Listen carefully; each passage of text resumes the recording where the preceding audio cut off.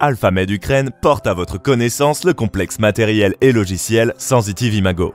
Le diagnostic sur notre appareil permet de détecter les systèmes et les organes les plus faibles, la présence et l'activité des processus pathologiques, la présence et l'activité des micro-organismes, la sensibilité à la charge d'information énergétique, la sensibilité aux contaminants, allergènes, conservateurs, la prédisposition héréditaire.